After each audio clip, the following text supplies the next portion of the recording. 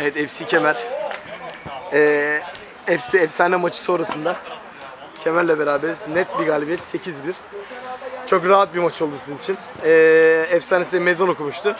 Sahada da en güzel cevabı verdiniz. Tebrik ederiz. Rakip takımda eksikleri vardı. Onları da tebrik ederiz. Güzel maç oldu. Evet. Önce bugün golcüyle başlayalım Emir. Hücum hattında çok etkiliydin. Attığın 4 golle. maç oldu.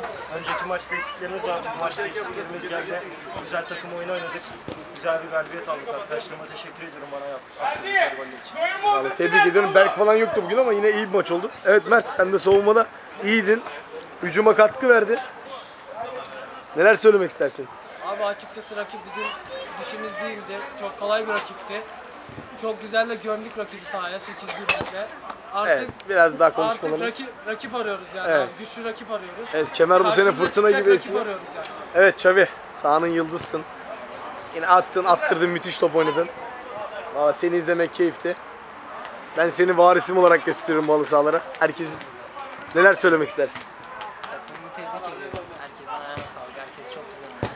Bugün tam bir takımdı. Bizim Herkese tebrik ediyorum. yokluğunda Biri zaten bir işimize yaramıyor. bir kardeşimiz şey yaptı. Evet Agüero yoktu bugün. Rakibi de tebrik ederim.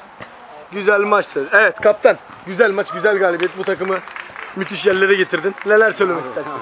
Güzel bir galibiyet oldu. Sen de iki golle Yani güzel oyunu süsledin. Gerçekten çok iyiydi. Bugün hatta Xavi de geldi. Xavi'nin gelmesi beni de çok rahatlatıyor. Öbür takımı da çok rahatlatıyor. Evet. Yani daha az koştuk yani öyle diyebilirim.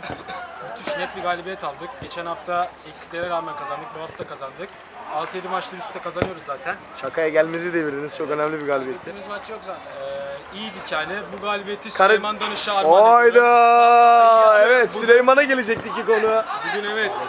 Ee, geçen hafta Emir'in iyi performansından dolayı Süleyman'ı kestik ama Süleyman her zaman takımın parçasıdır.